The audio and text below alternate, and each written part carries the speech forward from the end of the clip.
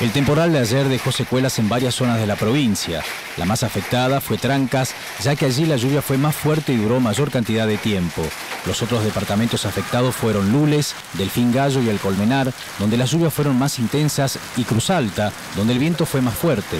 En Banda del Río Salí, en el barrio Costanera, los vecinos de calle Honduras al 1600 sufrieron en carne propia la fuerza del fenómeno. Estamos inundado acá, como ustedes ven, se ha llenado de agua todo adentro, todo el fondo, digamos, eh, por causa de la basura que está al frente de la casa, porque hay mucha basura.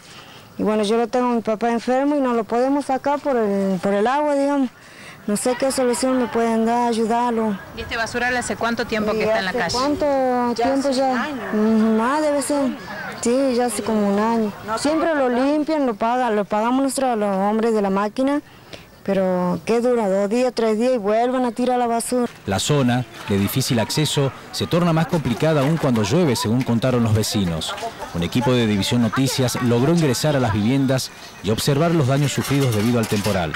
Inmundada, yo también estoy inmundada de la piedra, este, me ha ladeado la casa, tengo ladeada la casa. El agua me entró toda abajo la cama, todo, estamos inmundados ahí.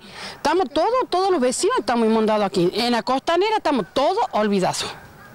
Porque lo que el gobierno no hace por hacer nada. Ellos ayudan a la gente que tienen y a los pobres lo dejan a la orilla.